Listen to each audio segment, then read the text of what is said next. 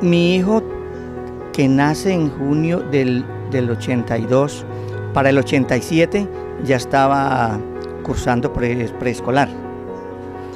Y mi hijo se gradúa bachiller en diciembre del 98 en el Colegio Migani. Y desde el 98, muy a comienzos del año, ya sabíamos nosotros que él había decidido eh, la carrera militar y entonces empezamos a, a buscar la forma de enviarlo porque en ese tiempo también era costosa el ingreso.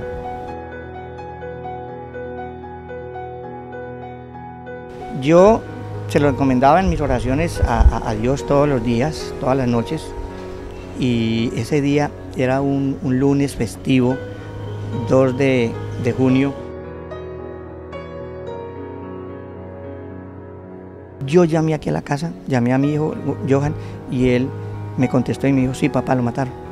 Nos mataron a, Cocho. Ahí ya queda uno que no sabe de dónde es, es, es habitante, de qué planeta es. La verdad, porque uno a uno le da dolor, tristeza, rabia, uno se desfigura. Yo recuerdo que yo cogí una pared a puños.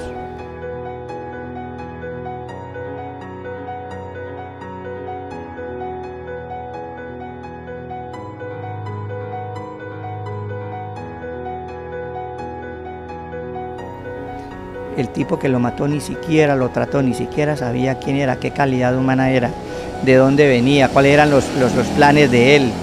No, no lo conoció, a él le dieron una orden. Digo, pero nosotros no podemos hacernos ese mal porque vamos a sufrir toda la vida. Aceptemos la ausencia de él y aceptemos esa ausencia recordándolo con alegría de todo lo que era, porque él era el de, él era el de la alegría de la familia. Él siempre lo pasaba con sonrisas de muchas actividades, él unía mucho a la familia y a este punto yo quería que, que me preguntara porque yo quiero darle gracias a Dios por lo que él fue.